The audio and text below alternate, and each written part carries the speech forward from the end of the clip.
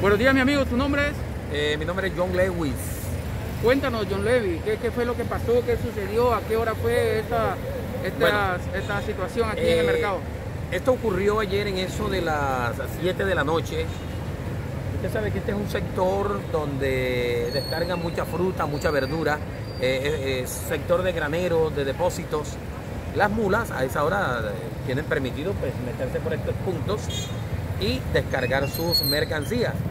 Pero no contaba el señor de la mula que estos cables estaban bastante bajos. Al momento de pasar ocurrió esto, tumbó el poste. Eh, algunos comerciantes eh, que se dieron pues cuenta de lo ocurrido le colocaron esa cinta para que el poste no se terminara de caer. Al parecer eh, es un poste de, de telefonía, es un poste de telefonía, pero el peligro eminente desde las 7 de la noche hasta ahora, que van siendo casi que la- la- la que las 10 de la mañana, ¿no? Casi 11, el poste aún no han venido a quitarlo.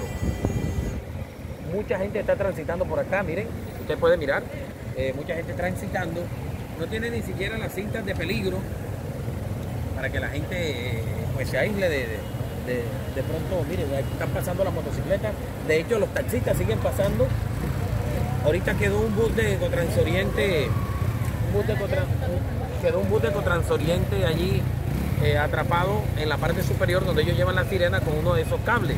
Entonces le pedimos, no sé, si el cuerpo de bomberos, la persona de la empresa de telefonía, que venga y tome cartas en el asunto, porque esto puede ocurrir una tragedia. Si ya no ha, si no ha ocurrido aún, puede suceder. Está brisando fuerte para esta época de, de- de enero, la brisa toma fuerza, la brisa loca Samaria. Entonces, ese es el llamado que le hace este servidor John Lewis a, las personas encargadas, no sé, cuerpo de bomberos, gobernación, alcaldía, no sé, o la empresa de telefonía.